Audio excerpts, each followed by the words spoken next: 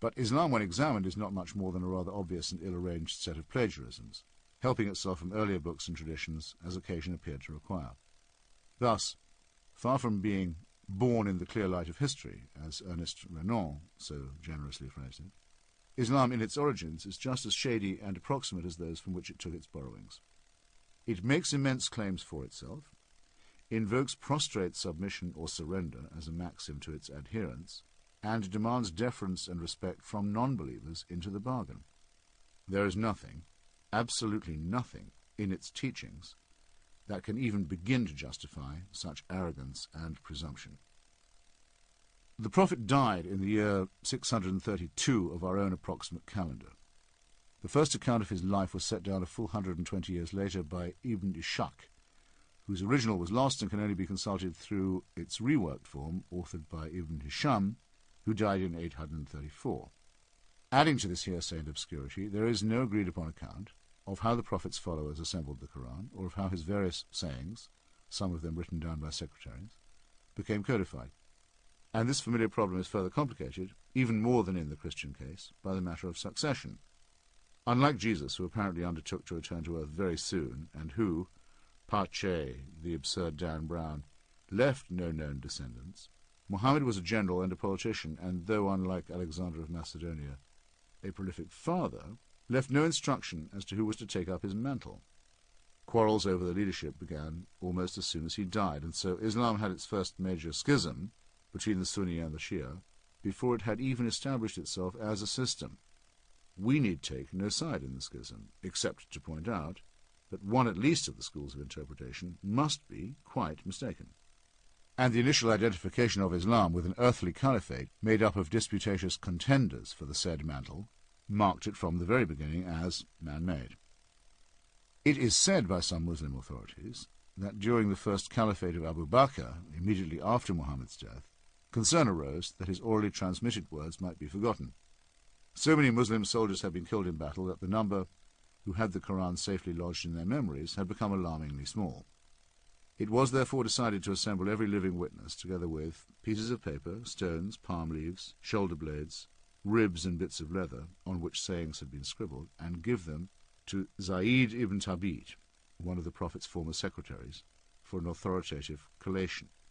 Once this had been done, the believers had something like an authorized version.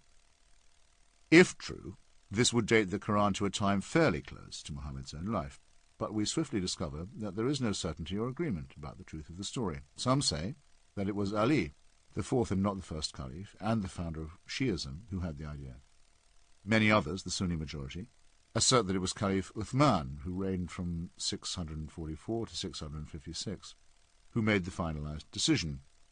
Told by one of his generals that soldiers from different provinces were fighting over discrepant accounts of the Quran, Uthman ordered Zayd ibn Thabit to bring together the various texts, unify them, and have them transcribed into one.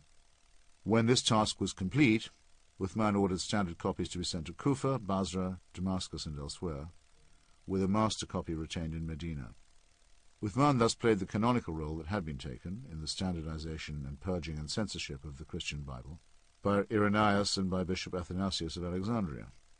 The role was called and some texts were declared sacred and inerrant, while others became apocryphal. Outdoing Athanasius, Uthman ordered that all earlier advance to be correct, which would mean that no chance existed for scholars ever to determine or even dispute what really happened in Muhammad's time. Uthman's attempt to abolish disagreement was a vain one. The written Arabic language has two features that make it difficult for an outsider to learn. It uses dots to distinguish consonants like B and T, and in its original form it had no sign or symbol for short vowels, which could be rendered by various dashes or comma-type marks. Vastly different readings, even of Uthman's version, were enabled by these variations. Arabic script itself was not standardized until the later part of the ninth century, and in the meantime the undotted and oddly voweled Quran was generating wildly different explanations of itself, as it still does.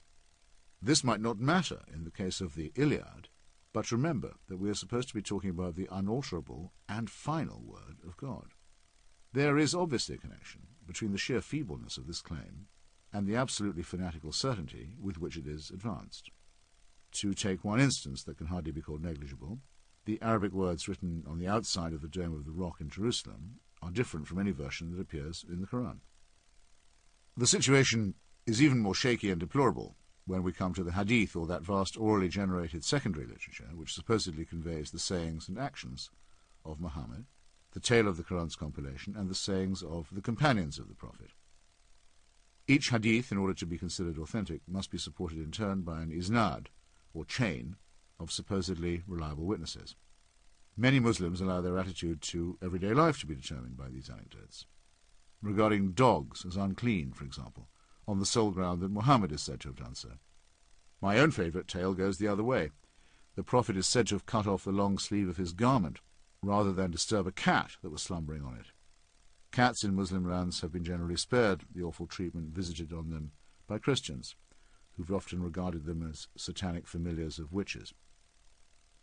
As one might expect, the six authorized collections of hadith, which pile hearsay upon hearsay through the unwinding of the long spool of his isnads, A told B, who had it from C, who learned it from D, were put together centuries after the events they purport to describe. One of the most famous of the six compilers, Bukhari, died 238 years after the death of Muhammad. Bukhari is deemed unusually reliable and honest by Muslims, and seems to have deserved his reputation, in that of the 300,000 attestations he accumulated in a lifetime devoted to the project, he ruled that 200,000 of them were entirely valueless and unsupported. Further exclusion of dubious traditions and questionable isnads reduced his grand total to 10,000 hadith. You are free to believe, if you so choose, that out of this formless mass of illiterate and half-remembered witnessing, the pious Bukhari, more than two centuries later, managed to select only the pure and undefiled ones that would bear examination. Some of these candidates for authenticity might have been easier to sift out than others. The Hungarian scholar Ignaz Goldziher, to quote a recent study by Reza Aslan, was among the first to show that many of the hadith were no more than verses from the Torah and the Gospels, bits of rabbinic sayings, ancient Persian maxims, passages of Greek philosophy, Indian proverbs, and even an almost word-for-word -word reproduction of the Lord's Prayer. Great chunks of more or less straight biblical quotation can be found in the Hadith, including the parable of the workers hired at the last moment and the injunction, Let not thy left hand know what thy right hand doeth, the last example meaning that this piece of pointless pseudo-profundity has a place in two sets of revealed scripture. Aslan notes that by the time of the ninth century, when Muslim legal scholars were attempting to formulate and codify Islamic law through the process known as ijtihad, they were obliged to separate many hadith into the following categories. Lies told for material gain and lies told for ideological advantage. Quite rightly, Islam effectively disowns the idea that it is a new faith, let alone a cancellation of the earlier ones, and it uses the prophecies of the Old Testament and the Gospels of the New like a perpetual crutch or fund to be leaned on or drawn upon. In return for this derivative modesty, all it asks is to be accepted as the absolute and final revelation. As might be expected, it contains many internal contradictions. It is often cited as saying that there is no compulsion in religion, and as making reassuring noises about those of other faiths being peoples of the book, or followers of